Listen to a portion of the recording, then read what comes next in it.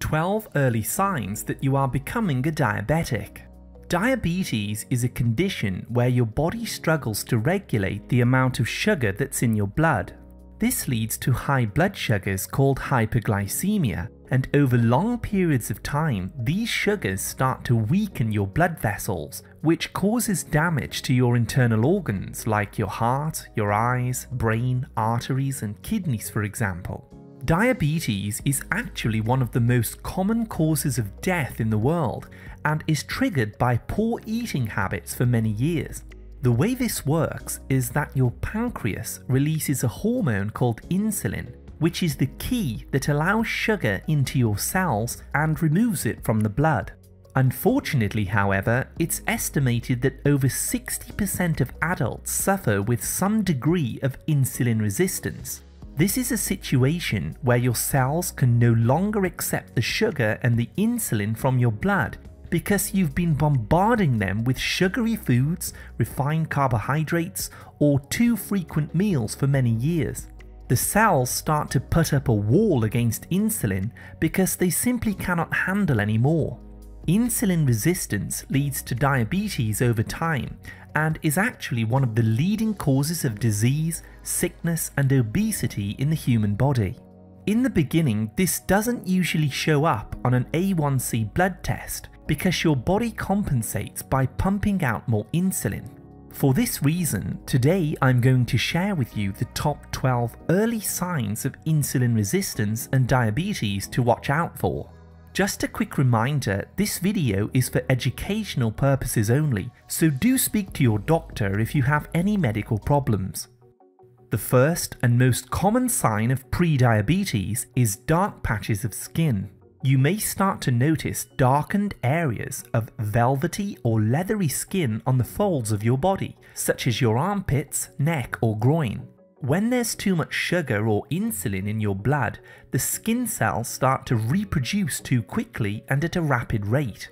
These new cells have more of the melanin pigment, making it appear darker than the surrounding skin. The second sign of prediabetes is sugar cravings after you've eaten. When your blood sugars aren't being controlled properly, you will likely crave a sweet or a sugary snack shortly after you finish your meal. This happens because your cells aren't accepting the sugar normally from your blood, which tricks your brain into thinking that you're still hungry, and you crave sugar for a quick energy boost. The third sign is blurred vision. At the early stages of insulin resistance, you may begin to develop blurred vision. You may find it very easy to lose focus of what you're looking at.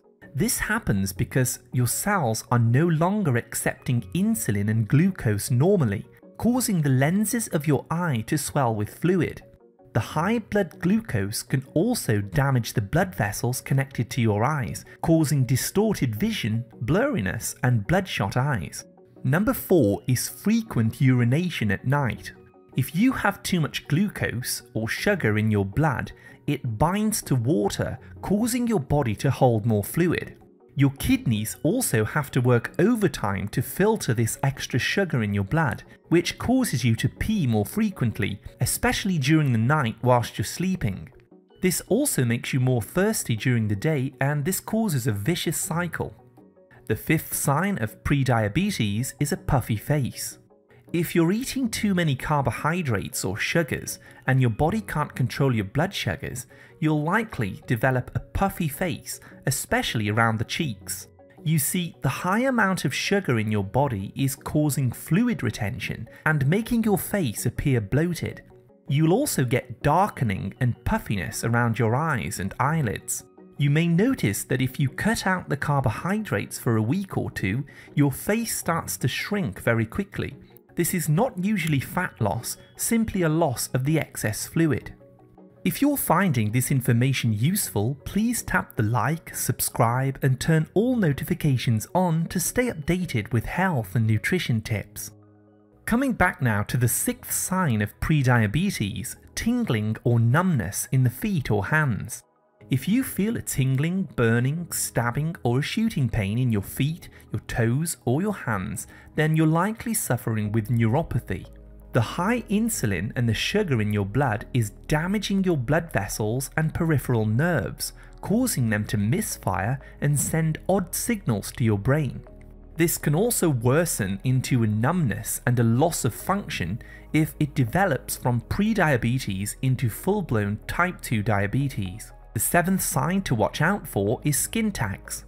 Most people have a skin tag or two, but if you start growing more of them, then this could be a sign of prediabetes. High levels of insulin causes the skin cells to reproduce rapidly, and as it's an anabolic hormone, it causes the skin tags to grow. Many people who have reversed insulin resistance using natural methods find that their skin tags naturally start to disappear. Number 8 is sagging belly fat. When you have high amounts of sugar in your blood for long periods of time, your body has to convert this into fat to preserve the energy for the future. Too much insulin and glucose causes your liver to become filled with fat, and this starts spilling over into your belly area. So naturally, the key to burning off this fat is by lowering blood glucose and insulin for long enough that your body can start to burn up its fat stores. You can learn more about this in my weight loss videos.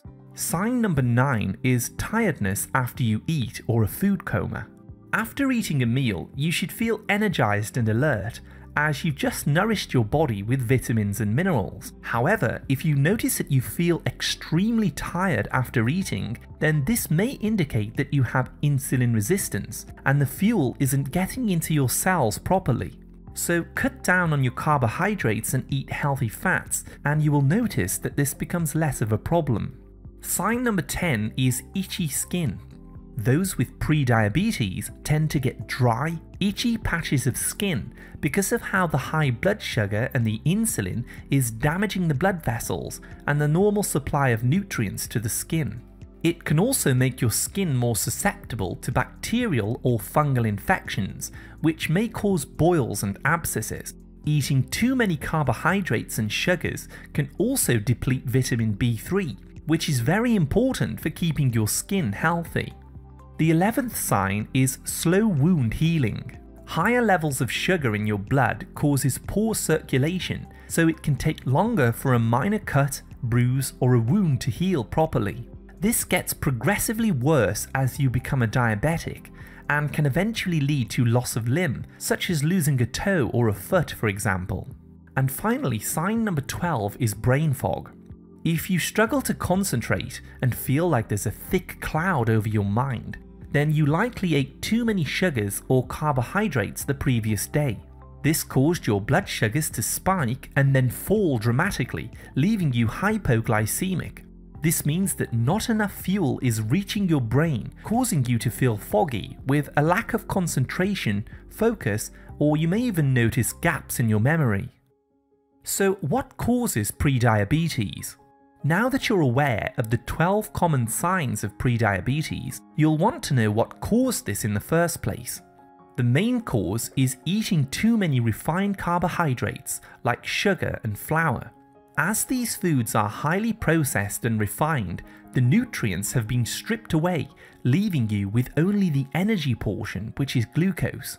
Without these nutrients, however, like B vitamins for example, your body struggles to process the sugars properly, causing insulin resistance in the cells and the early onset of diabetes. The second cause of diabetes is suffering with high levels of mental stress, as this can raise your blood sugars and over a long period of time trigger insulin resistance.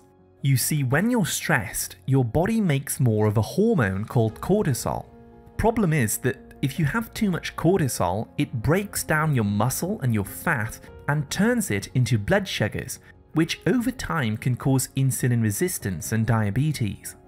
Another cause is having too frequent meals throughout the day, which bombards your cells with so much fuel that they cannot handle anymore. Every time you eat, you raise insulin, and our bodies weren't designed to be eating all day which is why fasting really helps to reverse prediabetes. How can I prevent diabetes? Now that you're aware of the 12 common signs of prediabetes, you'll want to know what steps you can take to prevent this from developing into full-blown diabetes.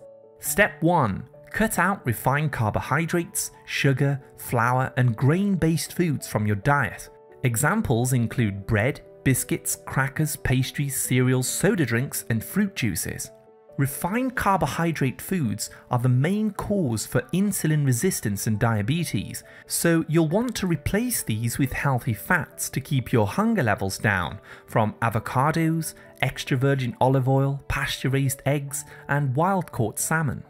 You'll also want to consume nutritional yeast to supply B vitamins, which reduce cravings and reverse nerve damage. 2. Eat lots of organic cruciferous vegetables such as kale, collard greens, broccoli, Brussels sprouts, cabbage, and cauliflower. These leafy greens are loaded with potassium and magnesium, two key minerals which help to reverse insulin resistance and regulate your blood sugars. The soluble fibre in vegetables also helps to stabilise your blood sugars. Step 3. To help control your blood sugars, start taking a daily supplement of chromium picolinate. This is a very powerful trace mineral which helps insulin and glucose become more sensitive in the body so that it can be moved into the cells. Chromium also helps your liver to produce the master antioxidant glutathione, which also helps to prevent diabetes and oxidative damage. 4. It's vital that you stop snacking between meals if you want to prevent your symptoms from developing into type 2 diabetes. If you find it hard not to snack between your meals, try taking a teaspoon of MCT oil at the end of your first meal. This is made from coconuts and keeps you feeling full for longer by providing an alternative fuel source to your cells which are called ketones instead of glucose. Step 5. Stop consuming vegetable oils like margarine, soy, cottonseed, canola, rapeseed oil, and corn oil. These cheaply refined oils are often used in fast foods, store-bought salad dressings, and pre-packaged meals and cause major damage to your cells and pancreas. I recommend that you start cooking your own healthy meals at home using grass fed butter, virgin coconut oil, avocado oil, and extra virgin olive oil. Step 6 Manage your stress levels and get at least 7 to 9 hours of sleep each night. This helps to reset various systems in your body which help control your hormones and keep your blood sugars under control. And 7. Start intermittent fasting, where you eat all of your calories in a 4 hour window and then fast for the remaining 20 hours a day. This is by far one of the most powerful eating techniques to normalize your insulin levels, helping the cells to open up and accept more sugar from your blood in order to keep everything balanced and under control. Following these seven important steps can improve insulin sensitivity, making your cells function properly and reducing the risk of developing diabetes, cardiovascular disease, and a range of other health problems.